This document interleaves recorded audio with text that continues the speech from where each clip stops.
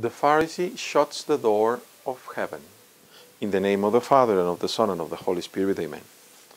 This is Father Angel from the Mission of San Andrew in Tijuana, Diocese of Mexico of the Orthodox Church in America. Welcome to the Gospel for August the 17, 2020, according to St. Matthew. But woe to you, scribes and Pharisees, hypocrites, for you lock people out of the kingdom of heaven. For you do not go in yourselves, and when others are going in, you stop them. Woe to you, scribes and Pharisees, hypocrites, for you cross sea and land to make a single convert, and you make the new convert twice as much a child of hell as yourselves. Woe to you, blind guides, who say, Whoever swears by the sanctuary is bound by nothing, but whoever swears by the gold of the sanctuary is bound by the oath. You blind fools, for which is greater, the gold or the sanctuary that has made the gold sacred? And you say, Whoever swears by the altar is bound by nothing, but whoever swears by the gift that is on the altar is bound by the oath. How blind you are! For which is great?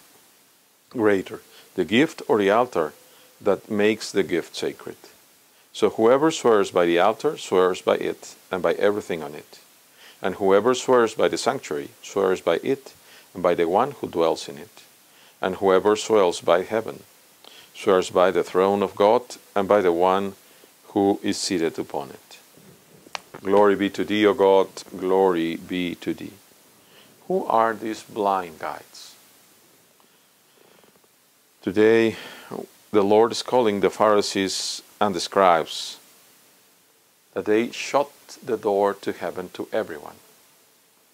Is it not true that they are the very ones that desire the money? Those are the pastors, the shepherds, those are the Roman priests, and unfortunately, a few of even of our Orthodox priests. On the, on the Orthodox side, I would explain to you very clearly that quite unfortunately, if somebody were to start collecting and charging money, an Orthodox priest, and not wanting to do as God commanded, he immediately would sever himself from the vine which is Christ and would stop being simply a priest at all. Even before his bishop know about it.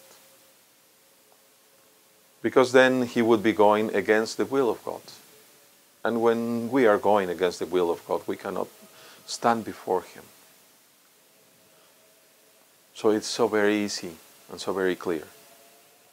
On the other hand, those that purposely, and all of them, even, even the Orthodox priests, that by purpose, by in conscience, have decided to do that, they betray God.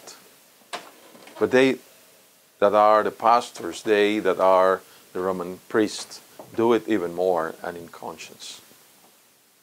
Because they think that they can grasp whatever it is for their own business. Those are the ones that will not attend you, that will not serve you unless you make payment to them.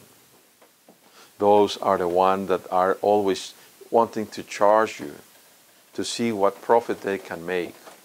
The ones that do not want to work, the ones that do not want to fast, to pray, to do anything other than it's absolutely required by law to them to do. And you can see their lives and you can see how they live. And you should not be fooled by them. Watch carefully whom you are following. And know beforehand that if you are following a Pharisee or a scribe, you will end up in hell.